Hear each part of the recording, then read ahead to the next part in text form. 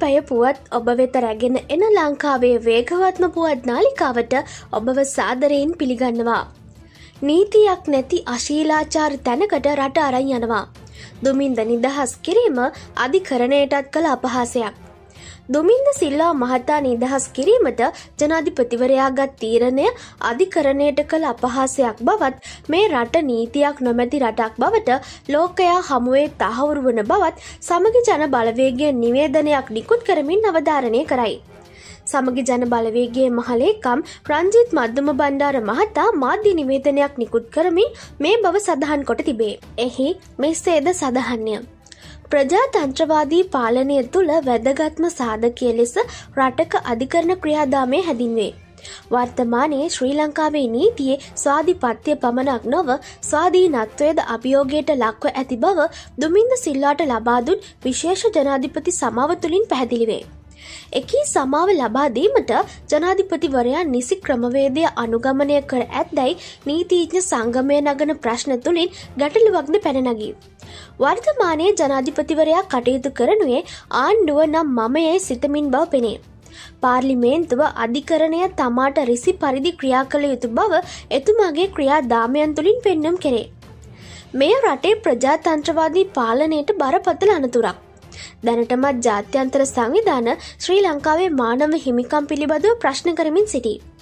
යුරෝපා සංගමය පසුගියදා සම්මත කළ යෝජනාව තුළ රටේ අනාගත ආර්ථිකයද විශාල අභියෝගයකට ලක්ව තිබේ. දේශපාලන පලිගැනීම් පිළිබඳ ජනාධිපති කොමිෂම යනුවෙන් අප කීර්තිමත් කොමිෂමකින් නිර්දේශයන් ලබා ගනිමින් අධිකරණය ලබාදුන් තීන්දු වෙනස් කිරීමට නීති පොතිතුමාට බලපෑ මෙල්ල කොට තිබේ.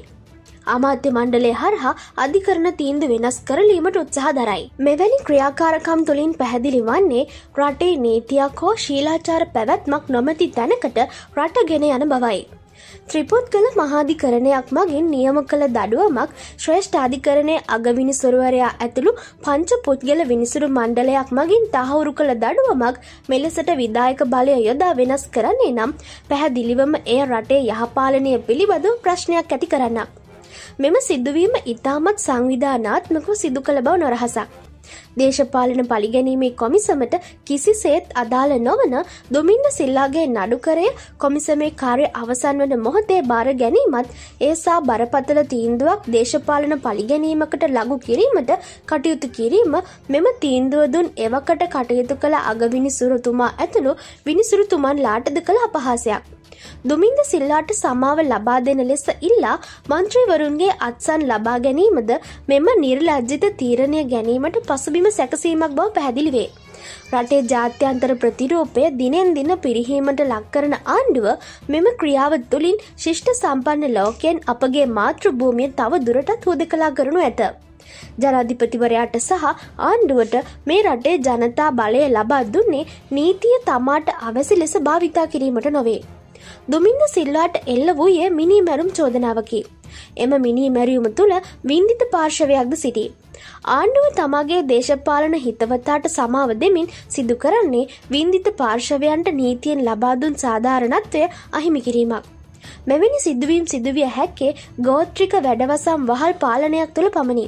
තමාට ව්‍යවස්ථාවෙන් හිමි බලයක් ජනාධිපතිවරයා විසින් අයුතු ලෙස භාවිතා කිරීම සමගි ජන බලවේගය ඉමහත් පිළිකුලෙන් යුතුව හෙලා දකිනවා. ජනාධිපතිවරයා දුන් මෙම වැරදි පූර්වාදර්ශය තුළින් රටේ අනාගතය අනතුරකට හෙලා ඇත. එබැවින් වහාම මෙම නියෝගය හකුලා ගනිමින් නීතිය ස්වාධිපත්‍ය සහ ස්වාධීනත්වය ගරු විනිසුරු තුමන්ලාගේ ගෞරවයත් සුරකින ලෙස ජනාධිපතිවරයාට බල කරමු.